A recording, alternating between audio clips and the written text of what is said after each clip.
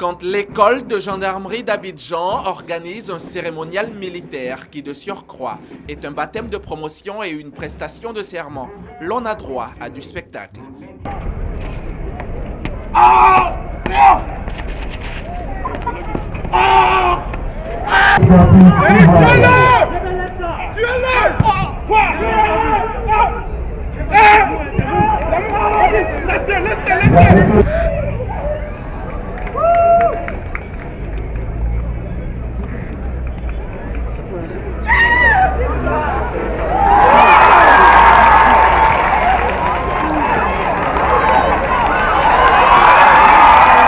Des démonstrations qui témoignent bien de la dextérité des hommes de Dr Alexandre Apallo Touré.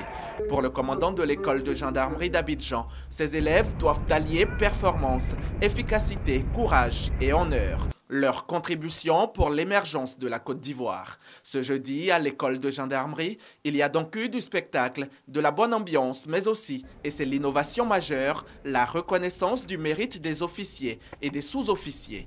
322 au total, ils ont été faits ou chevalier dans l'ordre national, ou chevalier dans l'ordre du mérite ivoirien, ou médaillé des forces armées et de sauvetage. Le colonel-major Aboya Kwame et le général de brigade Vako Bamba, commandant supérieur en second de la gendarmerie, ont tous les deux été faits officiers de l'ordre national. Le général de division Kwasi Kwaku Gervais est lui commandeur de l'ordre national.